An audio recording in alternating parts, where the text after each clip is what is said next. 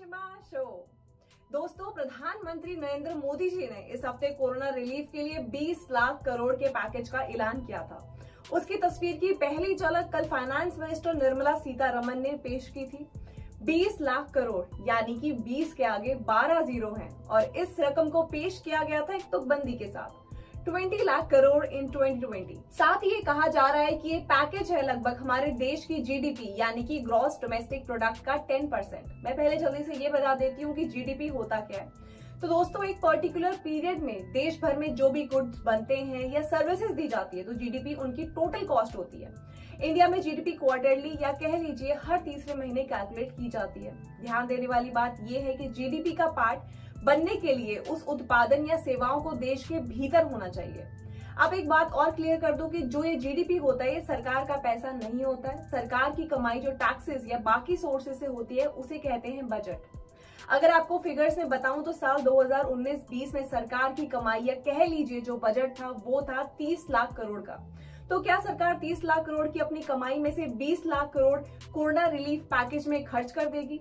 ऐसा नहीं है। यही तो एक गेम है जो सरकार खेल रही है। और आपको भी इस गेम को जानना बहुत ज़रूरी है। अगर आप इस पैकेज से बहुत उम्मीद लगाए बैठे हैं तो इस वीडियो को एंड तक ज़रूर देखें। अगर आपको मेरे द्वारा किया गया एनालिसिस अच्छा लगे तो आप मेरे चैनल को सब्सक्राइब करके मुझे सपोर्ट कर सकते हैं। दोस्तों, एक चीज़ आप पहले जान लीजिए कि ये 20 लाख करोड़ का पैकेज सिर्फ़ अभी के लिए या इस साल के लिए नहीं है, बल्कि इसको आने वाले तीन सालों में धीरे धीरे खर्च किया जाएगा। इस पैकेज की पूरी डिटेल्स की कितना पैसा किसको मिलेगा, कहाँ खर्च होगा, ये जानकारी चार से पाँच चरणों में दी जाएगी। अब बात करते हैं इस पैकेज से जुड़े कुछ ऐलानों को लेकर। कल की सबसे बड़ी घोषणा थी कि एम एस एम यानी कि medium and small scale industries को तीन लाख करोड़ रुपए की आर्थिक मदद की जाएगी। तो इस पैकेज में खास तौर पर एमएसएमई सेक्टर पर ध्यान दिया गया है। कल के ऐलान के मुताबिक इन ट्रेडर्स को 31 अक्टूबर 2020 से शुरू होकर चार साल तक बिना गारंटी के लोन मिलेगा। और आने वाले 12 महीनों तक, यानी कि एक साल तक प्रिंसिपल अमाउंट की पेमेंट करने की ज़रूरत नहीं होगी। इस एक कदम से 45 लाख स्मॉल कंपनीज़ को फ़ायदा मिलेगा, जिससे कि वो अपने रुके हुए कामों को रिज्यूम कर पाएँगे और वर्कर्स की सैलरी देने में सक्षम हो पाएँगे, जिससे कि कुछ हद तक इंडस्ट्रियल सेक्टर्स में नौकरियाँ बच पाएँगी। अब इसके साथ ही स्ट्रेस्ड एमएसएमई यानी कि कर्ज में डूबी हुई कंपनियों के लिए बीस हज़ार करोड़ रुपए का प्रोविज़न किया गया है, जो बेनिफिट करेंगी दो लाख एमएसएमई को। सरकार की इन कंपनीज़ के लिए पैसे का प्रोविज़न करके फिर से पटरी पर लाने की कोशिश है। ये ही नहीं, सरकार एमएसएमई को ई मार्केट से भी जोड़ने का प्रयास कर रही है। आपकी जानकारी के लिए बता दूँ कि अब सरकार ने एमएसएमई की डेफिनेशन को भी टर्नओवर और इन्वेस्टमेंट के बेसिस पर चेंज कर दिया है। सीमा पहले से ज़्यादा कर दी गई है ताकि ज़्यादा से ज़्यादा लोग लाभ उठा सके।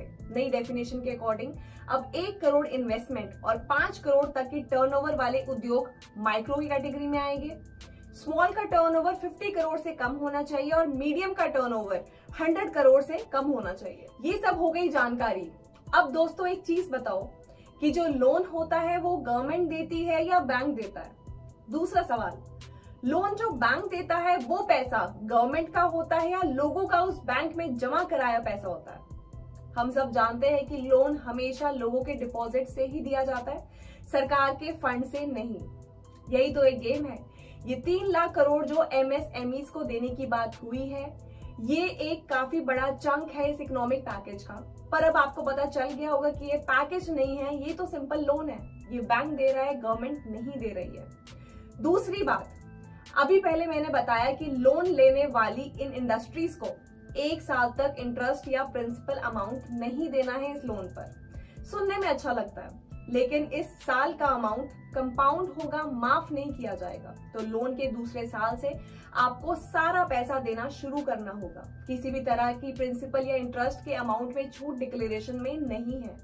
ये टोटल एक लोन स्कीम है। अब बताती हूँ कि टैक्स रिलेटेड क्या क्या चेंजेस हैं। तो सबसे पहले इनकम टैक्स रिटर्न्स फ़ाइल करने की मोहलत चार महीने से बढ़ा दी गई है, जो अब 31 जुलाई से बढ़कर हो गई है 30 नवंबर। इसके साथ ही नॉन सैलरीड पेमेंट्स पर टीडीएस यानी कि टैक्स डिडक्टेड एट सोर्स मौजूदा रेट से 25 परसेंट घटा दिया गया है और ये एप्लीकेबल है सभी तरह की पेमेंट्स पर। Interest rent brokerage supply etcetera ये लागू होगा आज से लेकर 31 मार्च 2021 तक। सरकार की दी गई इन रिडक्शन से सीधा सीधा लगभग पचास हज़ार करोड़ की अमाउंट लोगों के पॉकेट्स में रह जाएगी। यानी कि लिक्विडिटी लोगों के हाथों में रहेगी, सरकार के पास ये पैसा नहीं जाएगा। लेकिन गौर करने की बात यह है कि इंडिया में 130 करोड़ लोगों में से केवल एक परसेंट लोग ही टैक्स पे करते हैं। ये मेरा नहीं, बल्कि सरकारी आंकड़ा है। फरवरी 2020 में खुद इनकम टैक्स डिपार्टमेंट ने ट्वीट करके ये जानकारी दी थी। तो टैक्स रिलीफ वाली अनाउंसमेंट 128 करोड़ भारतीयों की जिंदगियों में कुछ राहत नहीं लाने वाली है। अब बताती हूँ कुछ चेंजेस जो सरकार ने पीएफ को लेकर किए हैं। जो प्राइवेट एम्प्लॉयज़ हैं, जिनका मैंडेटरी पीएफ यानी कि provident fund contribution monthly 12 percent था, उसको अगले तीन महीने के लिए अब 10 परसेंट कर दिया है। इसका मतलब अब एम्प्लॉयर भी 12 परसेंट की बजाय 10 परसेंट कॉन्ट्रीब्यूट करेगा एम्प्लॉय के पीएफ में। अब इसे एम्प्लॉयर का भी थोड़ा पैसा बच जाएगा और एम्प्लॉय का भी थोड़ा पैसा बच जाएगा। हालाँकि इसे लॉन्ग टर्म सेविंग्स कम हो जाएँगी लेकिन अभी सिचुएशन की यही डिमांड है। सरकार का कहना है कि इस कदम से 6,750 करोड़ रुपए ईपीएफ में कम जाएँगे और लिक्विडिटी बढ़ाने में मददगार हो सकेंगे। वैसे अगर दूसरे एंगल से देखें तो ये हमारा ही पैसा है जो हमें मिलेगा।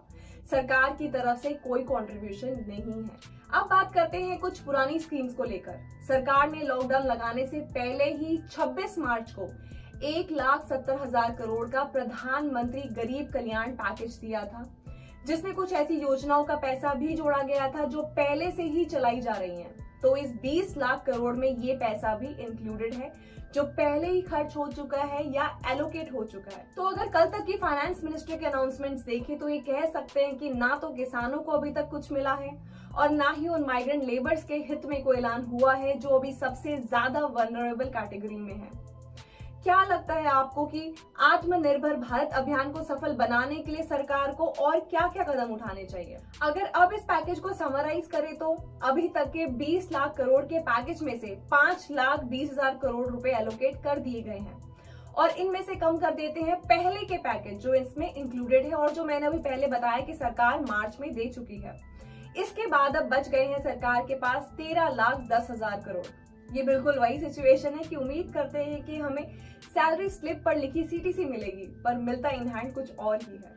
दोस्तों, हो सकता है आपको मेरा आज का वीडियो इतना पॉजिटिव ना लगा हो, पर मेरी यही कोशिश है कि जो एक्चुअल फैक्ट्स है, वो मैं आपको बताऊँ ताकि आप ही समझ पाए कि आखिर इस समय देश में हो क्या रहा है। और हाँ अपने विचार मेरे साथ नीचे कमेंट करके ज़रूर शेयर करें। आप सहमत हैं तब भी, और अगर आप असहमत हैं तब भी। अगर आप मेरे चैनल पे नए हैं तो प्लीज़ मेरे चैनल को सब्सक्राइब ज़रूर करें। तो चलो, मिलते हैं मेरी